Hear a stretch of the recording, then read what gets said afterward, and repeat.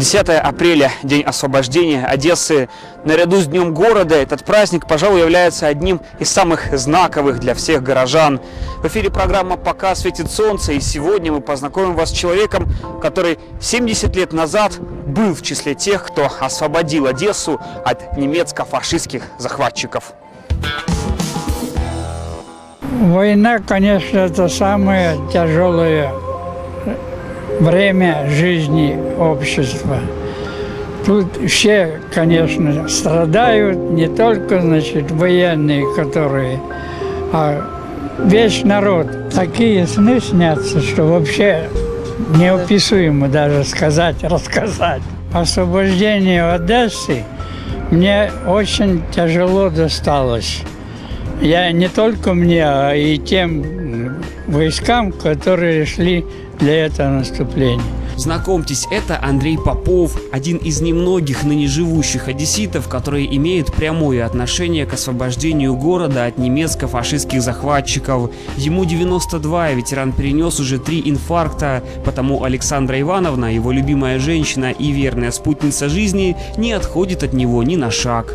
Ну, ходим, когда, в общем, и можем, когда можем последнее время им редко дается выбираться на улицу, но проехаться к площади 10 апреля ветераны радостно соглашаются, ведь для них это место священно. Как же это может быть незнаковое место?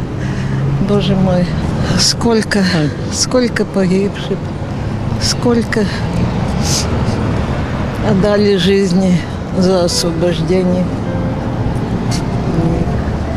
Такой памятник, Боже мой. Раньше ездили в Аркадии через площадь, всегда посмотрим, постоим, отдаем дань памяти. Тем, что к героической дате освобождения Одессы он тоже имеет непосредственное отношение, наш герой очень гордится. Конечно, это же город-герой, Одесса. Южную Пальмиру нацисты захватили практически в начале войны, удерживая в течение двух с половиной лет, пока в результате стремительной операции советские войска не выбили противника. В той операции принимал участие Андрей Попов, тогда еще 21-летний командир отдельного саперного батальона в составе 333-й стрелковой дивизии. Шестая армия была, наша дивизия 333-я стрелковая, Синельниковская, краснознаменная орден Суворова дивизия. Шестой армии командовал тогда Малиновский Родион Яковлевич. Перед тем, как освободить Южную Пальмиру, вспоминает ветеран, советским солдатам пришлось под вражеским огнем вброд форсировать Телегульский лиман и схлестнуться в ожесточенном бою с нацистами за село Петровку, что на подступах к Одессе. Выйти живыми из той битвы, вспоминает Андрей Александрович, удалось не всем. Такое село было Петровка, которое Коминтерновского района уже было. Угу. Вот. И там нас немец дал такой бой, что мы трое суток с ним сопротивлялись. Вот. Ну, все же наша победа была.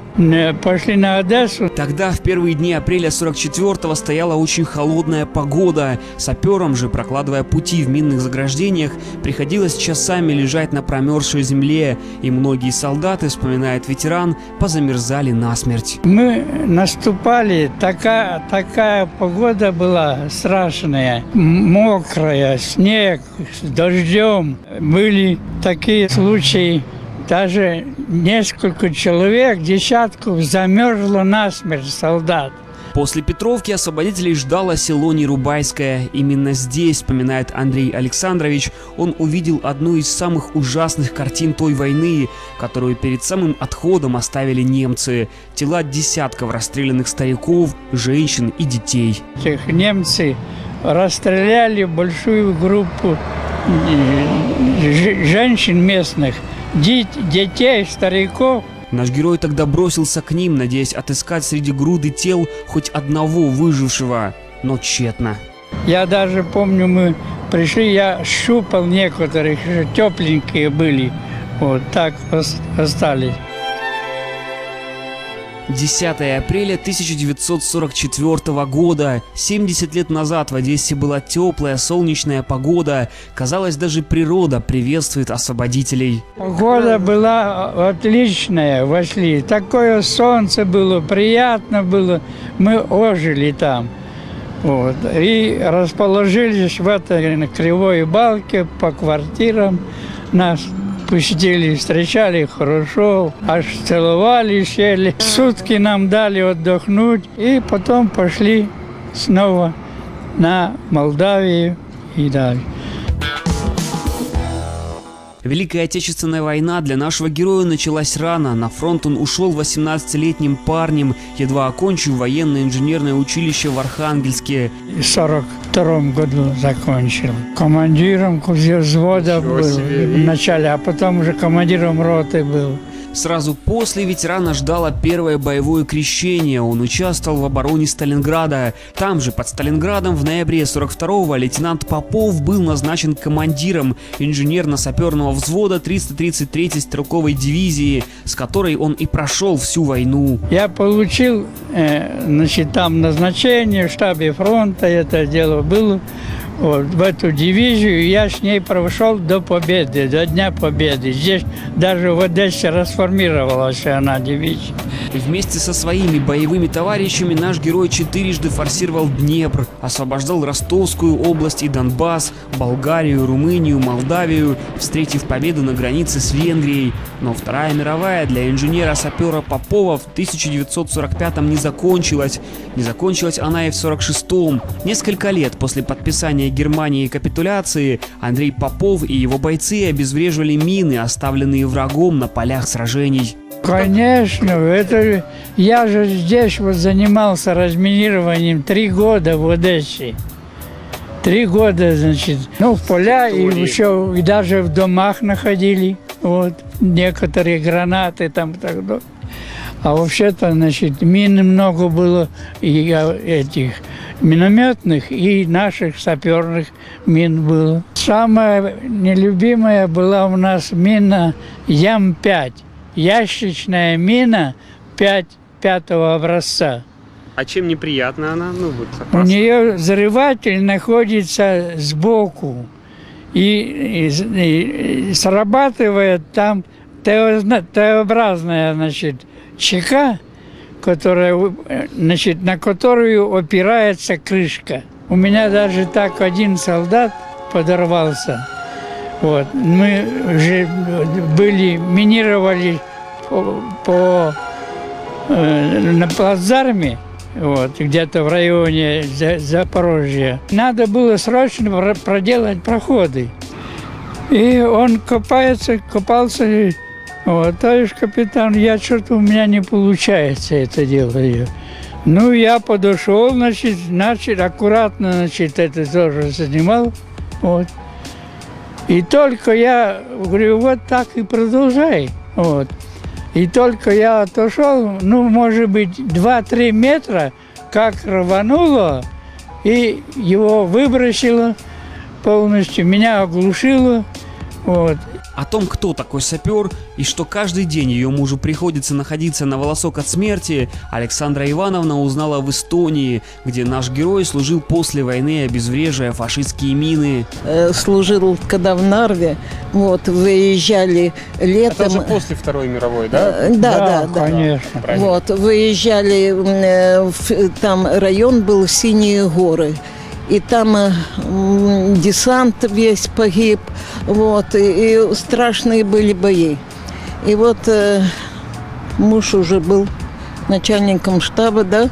Да. Вот, и послали и разминировать. Все лето они там стояли в палатках, жили и разминировали этот район. И там много было клюквы. И вот солдат приезжает – нам домой и говорит, вы знаете, товарищ майор вот сказал, если вы хотите, значит, при, это, поедем за клюквой. Я собрала там женщин, и мы поехали туда за клюквой. Я как посмотрела, сплошные рвы и сплошные с- снаряды. Деревья все скошенные, снарядами О, там, разбиты. э, Вот, снаряды полным-полно, эти всяких гильз, что. Я говорю, не надо мне клюкаю. У нас двое детей, я говорю, везите меня обратно. И так мы уехали без клюквы. Живя в Нарве, вот это я увидела, что такое сапер. Что он каждую минуту рискует жизнью. И каждый вечер ложишься спать и думаешь, боже мой, как же там как летчик. Сколько? В 44-м 22 года. А это, значит, вот мои командиры взводов. А вот это Саша Кожевников подорвался в Болгарии. Ловил рыбу с лодки минами, значит, и подорвался на этой вот сразу после войны. То есть войну всю прошел. Да, прошел войну, а еще это так получилось. У кого какая судьба? Наш герой, кавалер многих орденов и медалей, к боевым наградам относится с уважением и трепетом, вот только надевает он их с недавних пор лишь на парады и шествия. Когда я услышал, что привело к этому, мне стало жутко стыдно и неудобно перед ветераном за своих современников. Не хочется вспоминать такие моменты, особенно в праздничные дни, но не вспомнить об этом нельзя. Однажды молодой человек, представившийся журналистом, нагло и бездушно стащил у Андрея Попова несколько медалей. Александра Невского и какой еще? Отечественная война первой степени. Его награждали только э, э, офицерский состав, начиная от командира роты и выше. Долго сидел, разговаривал, Да. спрашивал все это, И- э, как с газеты. А, А потом, потом- э, попросил, говорит, можно э, китель посмотреть Вот. с орденами. Меня фо- сфотографировал тоже в этом. Меня. А потом сам. Э, Можно я померяю? Да, Померить? да, мерял, мерял, все. Когда он мерил, вот И сейчас вот я уже вспоминаю, я- как он себя вел, как- да? Он поправлял, видно, там открутил. Скрутил, открутил. А когда снимал, он, э, видно, взял карман и все. У меня в голове даже не могло при- себе представить, что на глазах у нас, да, и мы такие люди откровенные, и все как можно. Этого негодяя милиция ищет и не может найти по сей день, но больше всего сокрушается ветеран по другому поводу. Горестно потерять награды, за которые в те годы пришлось обливаться кровью. Но еще страшнее, говорит ветеран, утратить веру в людей и человечность. Александра Ивановна и Андрей Александрович. Их можно увидеть только вместе. На прогулку и по делам в магазин и на рынок они всегда ходят только так, бережно взяв друг друга под ручку. Это жизнь моя. Вот, полностью. Я без нее даже одного дня не проживу. Этот крепкий союз образовался еще 66 лет назад, сразу в послевоенные годы. Я занималась в акушерской школе, и с нами училась женщина молодая. У нее муж служил э, вместе с Андреем Александровичем. И дала ему мой адрес. Приезжает, говорит, ну, Шура, жди письма. Получаю я письмо, не отвечаю, человек незнакомый, ничего не знаю, все. Вот, она за мной ходит, ну, от что-нибудь, только ответь, потому что мне неудобно. Ну, вот так я ответила, и так завязалась у нас переписка. И тут я заканчиваю школу, получаю назначение в Березовку, сообщая ему, что я уезжаю по назначению, а он приехал и забрал без назначения. С тех пор так они и живут, душа в душу, почти 70 лет. Главный завет крепких семейных уз, делятся секретом ветераны, в вечном чувстве. Любовь во всем должна быть. Уже не надо объясняться. Ну, так понятно, без слов. Несмотря на преклонный возраст, не стареют душой ветераны. И хотя виски давно покрылись сединой, а руки морщинами, их глаза по сей день искрятся и сияют так, словно им по 20 лет. И друг друга Андрей Александрович и Александра Ивановна называют по-юношески, ласково и нежно. Шура Андрей. Андрейка, Шура, Андрюша. Война, конечно, это самое тяжелое время жизни общества. Тут все, конечно, страдают, не только, значит, военные, которые, а весь народ. Андрею Александровичу Попову 92, и он немало повидал на своем веку. Ему есть что вспомнить и о чем поговорить. Как и его супруга Александра Ивановна, ветеран очень добрый, открытый и скромный человек. Таких как он, освободителей Одессы, сегодня в нашем городе осталось менее 20 человек.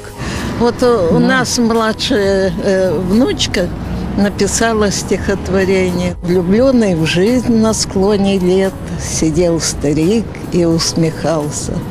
Он вспомнил былую прыть и весело чему-то улыбался. Но вот печаль мелькнула на лице, глаза грустят, и, несмотря на смех, от чего-то катится слеза, в усы все белые, как снег. Вокруг спокойно, мир и тишина, и лишь таким, как он, кровавая и страшная война нередко разрывает сон. Огнем и взрывами, и криками детей, безумной, бешеной стрельбою и миллионами смертей и материнских слез рекою. Его судьбу сломало горе, но миром кончилось оно. Он защищал для нас свободу, чтоб счастье и до нас дошло. У победы нет срока давности, через семь десятилетий, через века, через тысячелетия право жить под мирным небом не станет менее ценным, а потому каждый из тех, кто выковал для своего народа это право, кто не мешкая положил жизнь на алтарь победы, не должен быть забыт, а те, кто, как и наш герой, сумел выжить, пройдя огонь войны, убеждены, что бы ни случилось, важно любые проблемы и конфликты решать только мирным путем, ведь нет ничего ценнее, чем человеческая жизнь? Нужно, конечно, бороться за мир. Объединяться, а не разъединяться и добиваться как можно больше мира. Мира, мир, мир. Только мир дает жизнь человеком.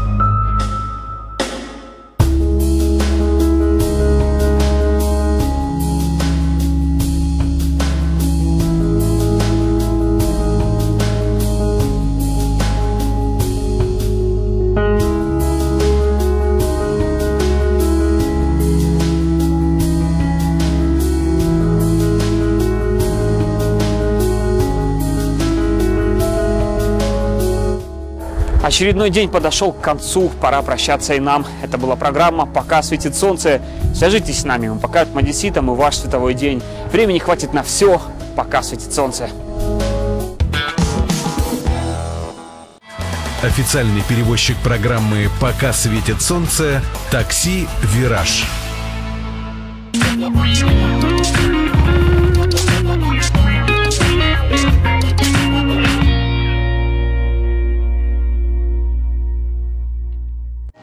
Такси «Вираж». С нами быстро, надежно и вовремя. Телефон заказа такси «Вираж» 794 9626.